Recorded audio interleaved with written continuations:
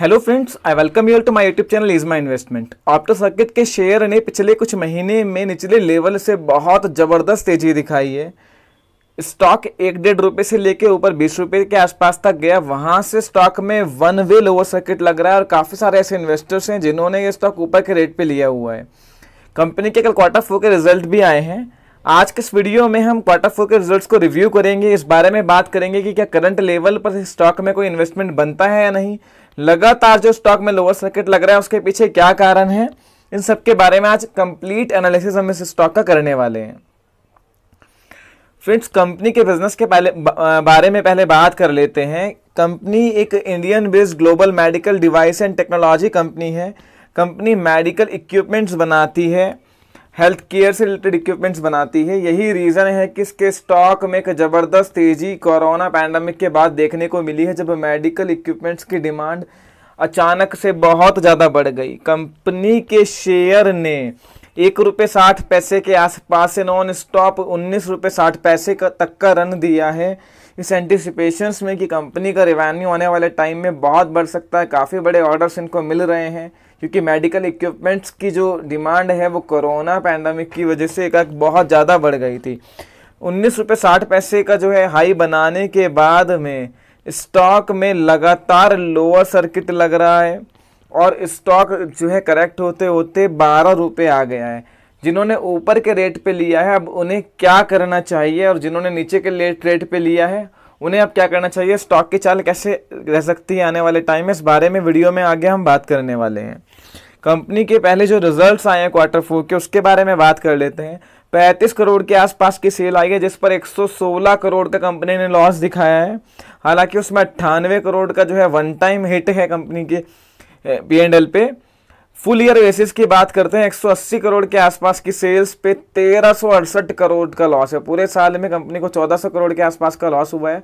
उसमें तेरह करोड़ का एक्सेप्शनल लॉस कंपनी को हुआ है।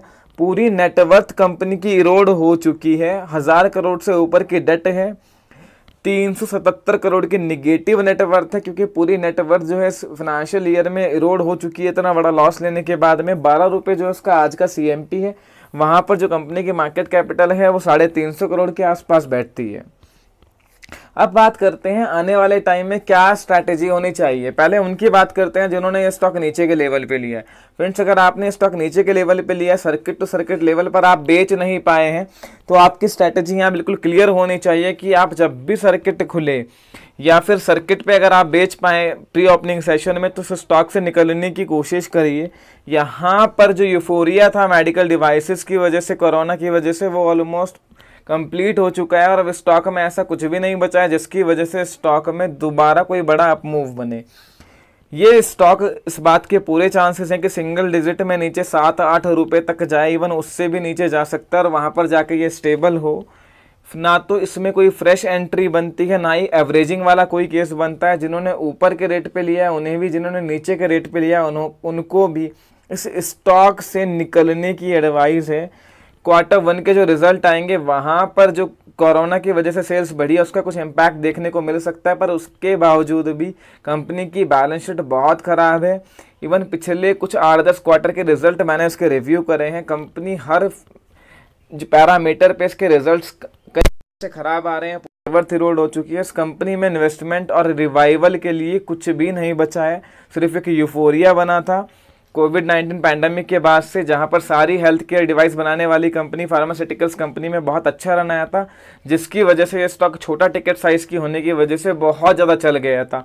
फ़िलहाल इसमें इन्वेस्टमेंट के लिए फ्रेंड्स कुछ भी नहीं बचा है। अगर आपको लॉस भी हो रहा है तो भी यहाँ से सिर्फ़ और सिर्फ़ निकलने की स्ट्रैटेजी होगी, क्योंकि इस कंपनी के आने वाले टाइम में रिवाइवल होने के भी कोई खासा चांसेस नहीं हैं।